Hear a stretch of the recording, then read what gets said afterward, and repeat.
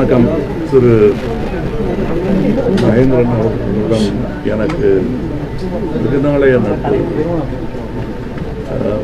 படங்கள் நாங்கள் குறைவாக செய்திருந்தாலும் நட்பு பொதுவாகவே இருந்தது.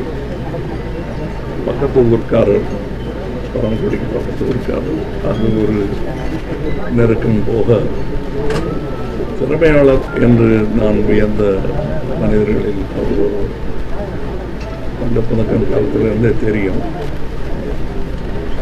பிறகு கூடி பல படங்கள் செய்திருக்கோம் ஆனால் முதலில் முள்ள மலரும் படத்தில் நான் நடிக்கிறதா இருந்துச்சு. திரு பாலமாந்திரா அவர்களையும்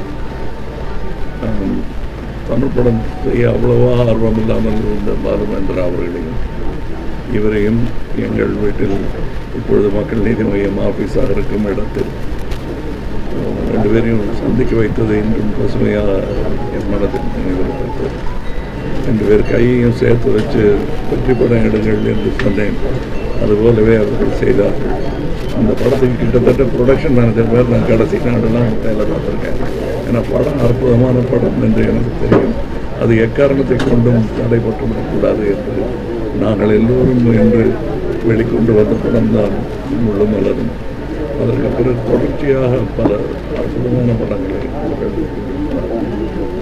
அதை பார்த்து சினிமா எடுக்க வேண்டும் என்று ஒரு இளைய கூட்டமே புறப்பட்டு வந்தது என்பது மிகையாகாது அற்புதமான மனிதர் ஆரம்பங்கள் எளிமையாக இருந்தாலும் அவருடைய அறிவு உன்னதமான உச்சத்தை தொட்ட பிறகுதான் ஏற்பட்டிருக்கிறது என்பது எனக்கு சந்தோஷம்.